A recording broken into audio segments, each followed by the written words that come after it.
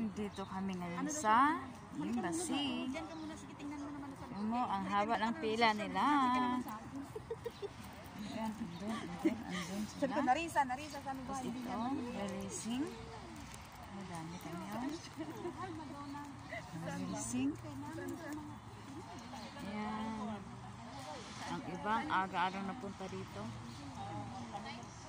Ayan sila. Dito, dito.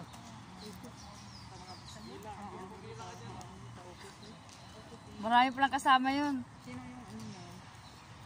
Sino yung ano mo ah? Sino yung driver mo? Hindi yung driver. Kaya na ako na ba? Sabi mo 23 minutes eh. Sabi ko, ay naku. Sana pinapalipad yung ano, sasakyan.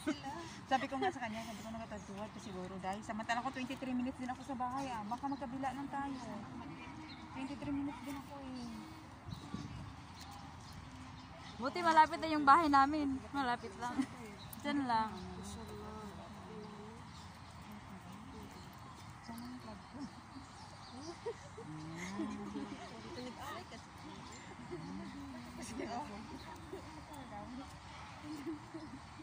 Hindi pa nag-start. 7 a.m. nag-start.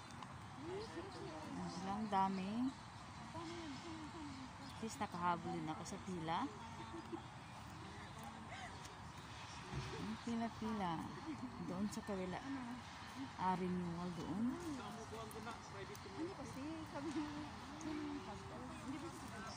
Ang dami-dami. Diba? Bye-bye!